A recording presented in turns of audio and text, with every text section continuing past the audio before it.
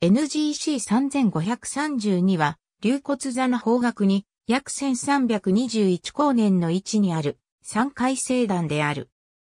願いを込めて投げられたコインが溜まった井戸の底のように見えることから、願いの井戸星団と呼ばれる。7等級以下の構成約150個からなっている。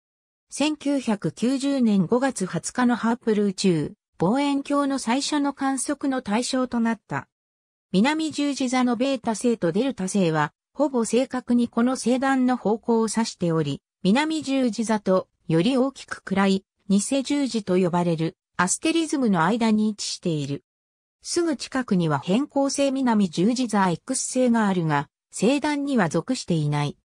また近隣には有名なイタカリーナ成分や NGC3293、IC2581 等の明るい三回生団がある。ソーシズ、リドパス、イアンチリオン、ウィル、コリンズガイド2スターズプラネッツ、コリンズ、2007ボキッチ、マイケル E、ハップル S グレイテストピクチャーズ、コムバック、2008。ありがとうございます。